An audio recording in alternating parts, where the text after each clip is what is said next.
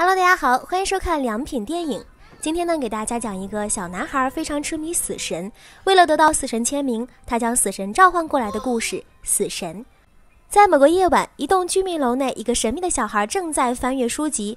一声惊呼之后，他终于找到了自己想要的东西——一道古老的死神召唤咒语。依葫芦画瓢，很快小男孩就在木地板上画了一道一模一样的死神召唤咒语。随着一阵比划，死神召唤咒语开始生效。而与此同时，死神在一家豪宅内准备执行今天的任务，目标是金发男。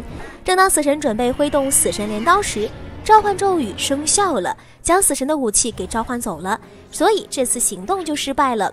十点钟整，金发男被闹钟吵醒，他一脸兴奋地起了床，开始在自己的豪宅内自娱自乐，完全不知道他刚才是命悬一线。死神掏出死神怀表，上面记录着金发男即将死于摔倒。于是呢，死神便在浴室外面等着，之后还惬意地坐在桌子上喝着咖啡。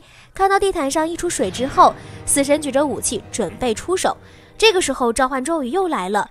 正当死神拼命反抗之际，金发男一个飞踹冲了出来，这下可把死神给气坏了。拼命向前冲时，被召唤咒语吸了进去。很快，摔得晕头转向的死神出现在小男孩的房间内。看到罪魁祸首的死神，立刻拿着自己的武器，准备向小男孩动手。小男孩吓得连忙将死神打至，挡在自己的面前。死神一脸疑惑，环顾这间房之后，才发现这里到处都是他的画像。他这才明白，眼前的这位小男孩是自己的铁杆粉丝。死神非常开心，用法术变了一支羽毛管，在杂志上签下自己的名字。小男孩简直是太兴奋了，围着房间跑来跑去，还不断欢呼。就连死神也被小男孩的气氛给带动了。